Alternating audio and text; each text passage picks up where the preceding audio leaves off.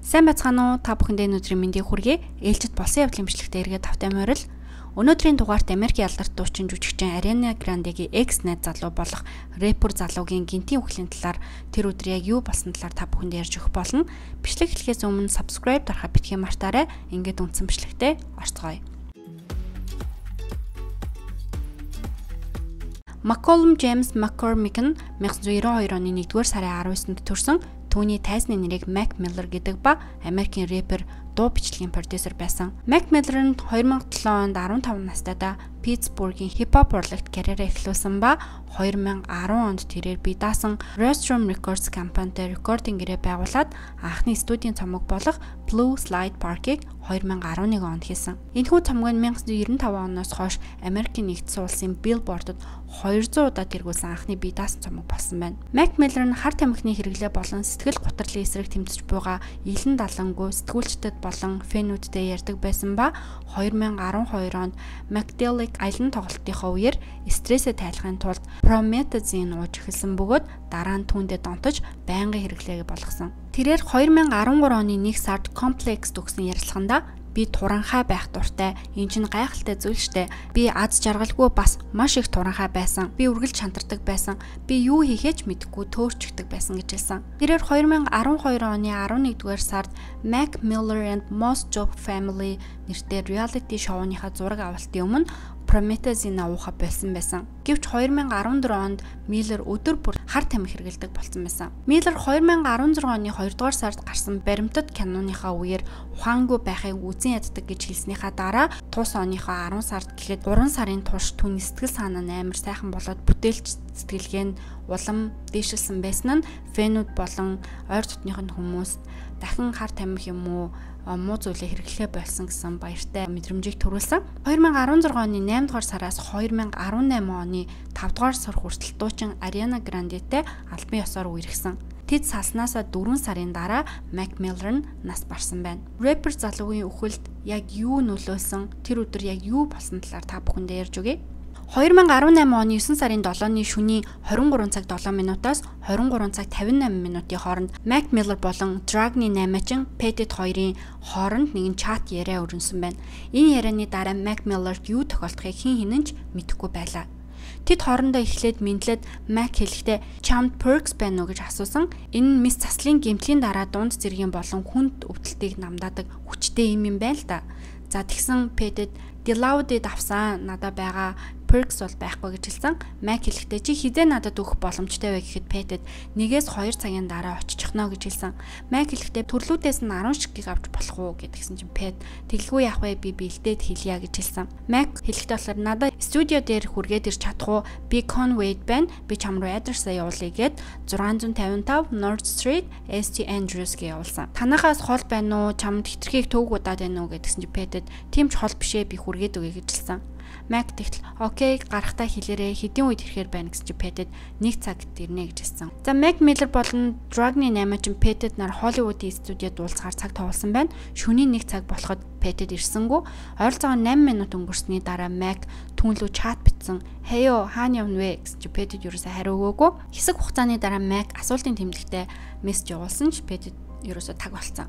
За шөнийн 1 цаг 12 минут болоод MacPad-ийг хүлээгээд ерөөсөө ирэхгүй байсан. За тэгээд түүний найз болох Johnson гэдэг бүсгүй рүү чатчихсан. Би уг нь pad тийг нэг цагт ирнэгээ хүлээгээдсэн чи ерөөсөө ирдгвэ. Тэгээ надаа одоо drug хэрэгтэй байна. Чи түүнийг хайцсныг мэдгүй гэсэн чинь нөгөө бүсгүй мэдгүй байна уу гэдгсэн. Mac болохоор наа чи өөр наашаа явуулчих хүн байна уу? Надад хэрэгтэй байна гэсэн чи нөгөө бүсгүй би чам руу охин явуулах уу лол гэсэн. Mac хэлэхдээ надад хідэн зүйл хэрэгтэй байна гэсэн чинь нөгөө бүсгүй надад бүгд байгаа гэж хэлсэн. Тэгээ Mac болохоор Snow Bars болон Blue Perks хэрэгтэй байна гэдгсэн. Тэгээд нөгөө бүсгүй болохоор надад бүгд байгаа гэдгсэн чинь Mac чамд Lean бас байгаа мó гэж энэ өөр нэг төрлийн шингэн drug юм бэлээ. За тэгсэн чинь нөгөө бүсгүй байхгүй Adderall байгаа бас Oxy Norco байгаа гэж хэлсэн. Ихэд хэдэн миллиграмтай байгаа вэ гэдгсэн чинь нөгөө бүсгүй 30 миллиграмтай Oxy 10 миллиграмтай Norco байгаа гэж хэлсэн. За тэгээд Mac болохоор би 5-ыг авч болох уу тус бүрээсэн гэдгсэн чинь бүсгүй 30 миллиграмтай нь 30 доллар нөгөөх нь 10 доллар. Гэхдээ чи манахаас бие үнэлэгч авах юм бол 10 долларын тэр эмийг нь би чамд үнгүй өгнө гэж хэлсэн. Mac тэгсэн чинь хоёлын энэ апл яах юм гэдгсэн чинь нөгөө бүсгүй Лол тохирлоо гэж хэлсэн. Мак хин нь одоо ирэх боломжтой вэ гэсэн чинь нөгөө бүсгүй Карла бэлэн байна гэсэн. Тэгээ Мак болохоор би нийт хэдийг төлөх вэ? Эмнийхээ зургийг над руу явуулаач хэдэн минутын дараа ирэх вэ гэд дахиад хаягаа явуулсан. Тэр бүсгүй рүү гэтэл эмийг чинь охинтой явуулах уу гэдгсэн чинь Мак нийт хэд болсон бэ гэдгсэн чинь нөгөө бүсгүн болохоор эмнүүд нь болохоор 325 доллар болсон. Биеийн үнэлэгч нь болохоор 700 доллар нийтдээ 1025 доллар болсон гэж хэлсэн. Тэгсэн чинь Mac хариуд нь бүгдийг нь явуулчихоо гэдгсэн чинь нөгөө бүсгүй 31 минутын зайтай байна одоо очлоо гэтгсэн. Mac болон нөгөө бүсгүй хоёрыг ингэж тохиролцоод Карла гих охиныг студио руу явуулсан. Карла ирэхээс 15 минутын өмнө нөгөө алга болсон худалдаачнаас хариу ирсэн. Өө надад нэг асуудал тулгараад мессежийг чинь харсангүй би очиж гин гэж хэлсэн чинь Mac тгээ гэсэн хариу илгээсэн. Ойролцоогоор 2 цаг 25 минут болж байхад Пэттээс ирчлээ гэсэн мессеж ирсэн бол удалгүй Карлач мөн эмнүүдтэйгээ студио дээр ирсэн. Тэгэхээр хоёр цахалсан юм нь хоёлаа бараг зэрэг ирсэн гэсэн үг. Маг нөгөө худалдаач бүсгүйгээс чат хүлээж авсан. Тэрээр хэлэхдээ чи төлбөрөө хизээ хийх вэ? Картаар хийх үү, кэшаар хийх үү, Venmo-гоор над руу шилжүүлэх үү? Өнөөдөр өгөх юм уу? Бас цагаа нэг цагаар сунгах уу гэж асуусан. Нөгөө биеийн үнэлэгчийнхаа. Тэгээд Маг хариулахдаа би маргааш төлбөрөө хийя, тгийе сунгая гэд хэлсэн чинь нөгөөх нь оо cool маргааш төлчих гэлсэн. Тэр шөнө Мак Карлатай 5 цаг хамт байсан ба төлбөр нь 1 цагийн 600 доллар гарсан. Тэгэхээр нийтдээ 3000 доллар нэмж төлөхөр болсон гэсэн үг. За тэгээ 2018 оны 9 сарын 5-ны орой им болон хүүхэн зарсан хүүхэн дахиад чат бичсэн. За мөнгөчин 3000 доллараар нэмэгдсэн шүү гэж сануултал Mac би ажиллаа хийж байтал нэг мэдсэн чи өглөөний 7 цаг болчихсон байсан. Гэхдээ би түүнийг яв гэж хэлээгөө. Тэгээд чи битгий санаа зовоо би бүх төлбөрийг нь төлнө гэж хэлсэн. Ингээд Mac түнд 3325 доллар төлөхөр алсан. 8 залуу Pedit болон им худалдаалсан бүсгүй хоёрын явуулсан хоёр тустай юмнуудыг хэтрүүлэн хэрэглэснээс болоод Mac Лос Анжелес дахь гэрээсээ нас орсон байдалтай болсон. Мянган мянган шүтэн бишрэгчид 2018 оны 9-р сарын 11-нд Питтсбургийн Blue Slide цэцэрлэгт хүрээлэнд түүний анхны цомгийн гарчиг болсон Миллерт зориулсан хүндэтгэлийн арга хэмжээг зохион байгуулсан. Им зарсан Пэтэд энэ хэрэг болсны дараа нэг хүнтэй Instagram-аар өөрийнхөө ирээдүйн талаар чаталсан байсан нь олонд дэлгэгдсэн байна л та. Пэтэд хай гэдсэн чинь найз нь чи гайгүй юу гэдгс чи Пэтэд би тийм ч сайн биш байна гэсэн чи найз нь надтай ярилцал та гэсэн чи Пэдэд би шорон түхэх юм шиг байна гэж хэлсэн. Найз нь би чиний талаар бүхэл өдөржингөө санаа зовлоо. Чи с ิจ гтнэр л байцаагдаж байгаа шүү дээ гэдгсэн чи Пэдэд юу ч болоогүй байна л да. Гэхдээ юуны маа гэдгсэн чи найз нь бити сүрэг байл та гэсэн чи хариуд нь би сандраад байна гэж хэлсэн. Тэгсэн чи найз нь бэ битгий стресс бүх зүйл сайхан болно. Би ерөөсө тэгж мэдрээд байна гэдгийгсэн чи хариуд нь би хурдан өөр газар руу нүнэ ямар нэртэй болдсон бэлээ гэж өдөөс нь асуусан. Нэрээ солих гээд байгаа байхгүй юу? Тэгсэн чи найз нь энэ явдал тийм ноцтой хэрэг юм уу? Нэрээ юу? Чиний нэр чин гоё штэ. Хамтдаа Стокгольм нүүя гэж хэлсэн. Тэгсэн чинь тийм ээ магадгүй би сайн мэдэхгүй байна маргааш юу болохыг нь мэдэн дээ гэж хэлсэн. Найз нь тэгсэн чинь би чиний төлөө санаа зовж байгаа гэд пост оруулж болох уу гэсэн чи пэдэд тгээ гэд энэ хоёрын conversation одоо яриа олонд дэлгэгдсэн байна. За энэ чатныхаа араас Pet-д өөр нэг A зэг GX найзтайгаа чатлаад Mac болон тэр хоёрын тэр орооны чатыг өөрийнхөө IG-д постлмаар байна. Тэрийг нь засвар хийгээд өгч чадах уу гэж асуусан байна. Тэгэхээр энэ залуу ерөөсөө л олон хүмүүс миний эсрэг байгаа. Тэгэхээр би жоохон өөрчлөлт хийгээд постлчих юм бол бас хэрэг нааштай хандаж магадгүй гэж бодсон байл та. Тэгээд пэдэд хэсэг хугацааны дараа би юу ч постлох шаардлагагүй юм байна. Ерөөсө ухаантай хандахгүй бол би нэг л буруу зүйл хийх гээд байна гэдгээ ухаарсан. 2018 оны 9 сарын 15-нд буюу рэпер залууг нас барсны 8 хоногийн дараа пэдэд Instagram-да өөрийнхөө костюм өмсөн баяр баясгалантайгаар инээсэн зураг постлсон олон үнний дургуутслыг хүргэсэн. Ингээд түүнийг алсан хэрэгт 3 хүн сэжиглэгдэж байцаагцсан им зарсан хүүхэн, герт нь очсон бие үнэлэгч, им авчирсан залуу. Цагдаа нар рэпер залуугийн цамцны карманаас 40 ширхэг им олсон ба тэр хувцаа бааны өрөөнийхөө шкафанд хийсэн байсан. Энэ нэмнүүд нь фентанил буюу хүчин намдагч агуулсан юм байсан нэг төрлийн drug гэх юм уу. Олсон юмнуудыг нь тестлэхэд ийм төрлийн энгийн юм нь хероиноос 25-аас 50 дахин хүчтэй, морфиноос 50-аас 100 дахин хүчтэй, 2-оос 3 мг энэ нэмнээс амсгал юм бол үхлийн аюулд хүрэхээр тийм хүчтэй доостой юм байсан мэн л та. За тийхэд яг олдсон эмний хувьд рэпер залуугийн уусан эмийг нь тестлээд үзсэн чинь нэг ширхэг нь ойролцоогоор 5-аас 7 чимэх давсны хэмжээтэй юм байсан. Тэгвэл энэ юм нь фенатилаас 100 дахин хүчтэй, морфиноос 100000 дахин хүчтэй, олцсон эмнээс нь 0 100000-ны 2 мг-ыг л уухад өөхөх аюултай тийм юм олцсон. Дүгнэлт нь болохоор рэпер залуу фенатилины хэмжээ нь ихсэн, найрлага нь буруу эмийг хэтрүүлэн хэрэглэснээс болоод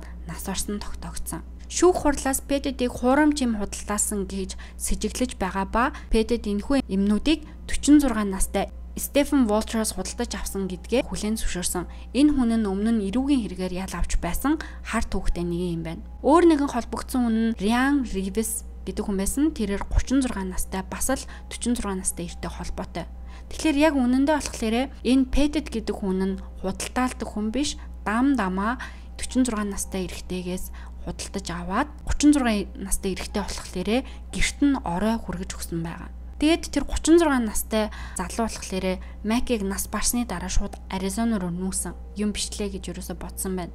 Энэ гурав нийлээд хуурамч ийм Мак төгсөн нь юусоо тогтоогдчих байгаа юм л да. Макийг нас барснаас сар хүрэхгүй хугацааны дараа нөгөө 46 настай залуу Пэдэд хоёр нь 10 ширхэг хуурамч нөгөө имээ хүнд зарсан байсан нь тогтоогдсон. Айгүй олон жилийн өмнөөс хамтарч ингэж ажиллаж иймэрхүү бизнес хийж байгаа. Нэг нь худалдаалдаг, нөгөөх нь жуулчилдаг тийм хоёр хүн байсан байна. 2019 оны 4 сард Пэтэд хуурамчийн мөхт Макийн аминд хүрсэн тогтоогдоод 10-аад жилийн хорих ял авсан гэсэн мэдээлэл олцсон. Хуурамч трак худалдаалах гэмт хэрэг нь өдрөөс өдөр төгссөөр байгаа ба Америкт фенатил хуурамчаар үйлснээс болж энэ нас барж байгаа хүний тоог тэргүүлж байгаа юм байна. Өмгөөлөгч хаана хэлэхдээ болохоор энэхүү хэрэг бол олон хүмүүс сэрэмжлүүлэг өгсөн сургамж болсон явдал боллоо. Цаашдаа хүмүүсийг анхаарах байх, нас барж байгаа хүний тоо буурах байхаа гэдэгт найдаж гин гэж хэлсэн. Хэрэгтнүүдийн авсан ял шийтгэлийн хувьд 46 настай Стефенд 17 жил За Revis болохоор 10 жил 11 сарын 20 ял болсон. За нөгөө Pedet гих залуугийн 20 ялны хувьд яг нэг энэ хоёр шиг тогтсон юм байхгүй. 2022 оны 4 сар шүүх хурал болохдоо 10-аад жил гэсэн мэдээлэл байгаа.